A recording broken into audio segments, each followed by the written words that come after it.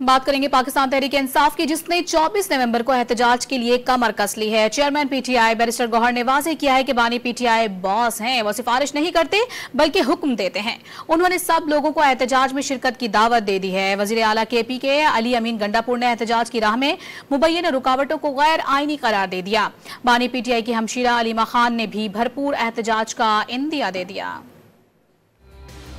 पाकिस्तान तहरीक इंसाफ बानी की 24 नवंबर की फाइनल एहतजाज की काल पर मुतहरिक हो गई। चेयरमैन पीटीआई बैरिस्टर गौहर ने वाजे कर दिया कि बानी ने हुक्म दिया है इस पर लबैक कहा जाएगा।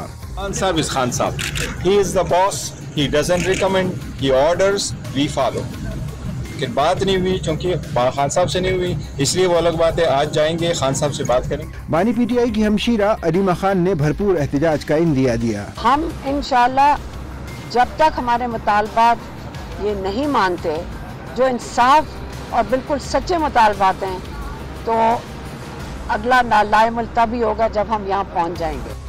वज़ीर अला खैबर पख्तूनखा अली अमीन गंडापुर की हरीपुर में कायद हिजब इख्तलाफ उमर अयूब से अहम मुलाकात हुई, जिसमें एहतजाज हर सूरत कामयाब बनाने के अज़म का अदा किया गया। ज़्यादा से ज़्यादा वर्कर्स पंजाब से इस्लामाबाद लाने पर भी ज़ोर दिया गया। राय के मुताबिक इसी सिलसिले में पी टी आई के अरकान पंजाब असम्बली को जुमे को पिशावर तलब कर लिया गया है, जिसमें बुशरा बीबी बानी पी टी आई का अहम पैगाम उन्हें पहुँचाएँगी। वजी अला खैबर पख्तूनखा ने दो टोक पैगाम दिया की वो एहतजाज की राह में हायल रुकावटों को दूर करने के लिए तैयार है।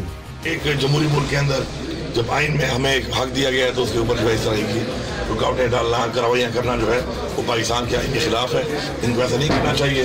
लेकिन अब ये भी ऐसे करते हैं तो हम भी उसके ट्रेन हो चुके हैं। अपोजिशन लीडर उमर अयूब ने वाजे किया कि 24 नवंबर के एहतजाज की काल का मकसद बानी पीटीआई और तहरीक के बेगुनाह कारकुनों की रिहाई के साथ आइन और कानून की बालादस्ती है।